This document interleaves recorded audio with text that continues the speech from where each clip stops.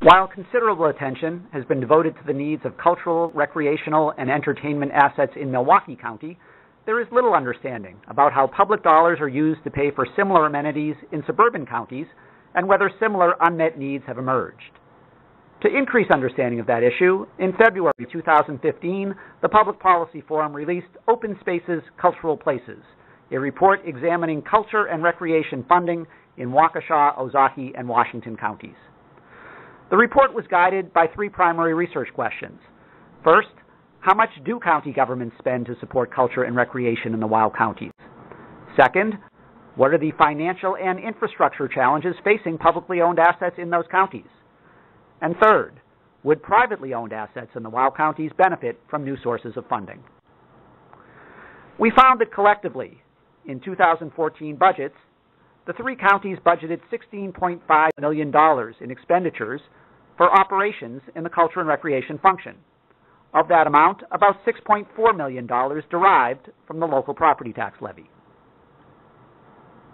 Starting now county by county, we see that Waukesha County, which is the largest of the three WOW counties with a total budget of $289 million and a property tax levy of about $99 million, spent about $5.6 million of those local property tax levy resources on its parks and land use function. Waukesha County offers a wide array of amenities and assets for its citizens. When we look at total expenditures, we see that parks, golf courses, ice arenas were the leading recipients of public monies. The report also delves into five year capital plans for the three counties. In Waukesha County, we identified $9.7 million worth of capital funding needs over the next five years. Turning now to Ozaukee County, whose budget totaled $83 million in 2014, with a budgeted property tax levy of $19.5 million, we see only about $150,000 of property tax levy resources devoted to the natural resources function. In terms of overall expenditures, however, far more dollars allocated for amenities such as golf courses, parks, fish passage projects, and the Ozaukee County Fairgrounds.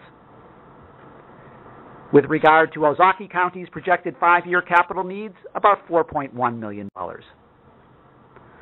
Washington County has a total budget of $120 million in 2014. Of that amount, $36 million derived from the property tax levy, and $1.5 million of that local property tax dedicated to culture and recreation. Washington County spreads out its expenditures among parks, golf courses, an historical society, the Washington County Fair Park. Those are the major recipients of public dollars. In terms of five-year capital projections, about $2.2 million in identified needs over the next five years. The report also looks at three distinct privately owned cultural organizations, one in each of the three counties. We examine the Sharon Lynn Wilson Center for the Arts, located in Brookfield. We take a look at the Ozaukee County Historical Society, which is headquartered in Cedarburg. And we examine the Museum of Wisconsin Art, located in West Bend in Washington County. Overall, we leave with four primary conclusions. The first is that there does not appear to be a pressing need for a new source of public funding to support county government's provision of recreation and culture services in the WOW counties.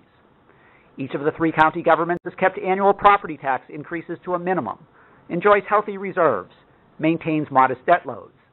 These are all indicators of strong overall fiscal health that suggest new or enhanced public funding sources are not a necessity. Our second observation involved the private cultural organizations in the WOW counties. And there we felt that they could benefit from opportunities for grant funding from a new public funding source. While all three organizations are in solid fiscal condition, each has aspirations to improve its facilities in ways that could substantially enhance the visitor experience and maximize earned revenue. Unfortunately, those aspirations may be challenging to fulfill within existing revenue structures. Consequently, each could benefit from access to competitive grants, for example, if a regional public funding source were pursued. Our third observation was that capital planning in the WOW County should serve as a model for Milwaukee County. Our review of capital improvements planning in the WOW counties revealed several important practices that Milwaukee County leaders might wish to emulate. Examples include efforts to diligently assess the condition of county assets and plan improvements well in advance of necessary appropriations, and efforts to strategically anticipate and mix the use of various sources based on the prioritization and timing of key projects. Our final observation was that need is not the only reason to consider the use of non-property tax public resources to support recreation and culture in the WOW counties.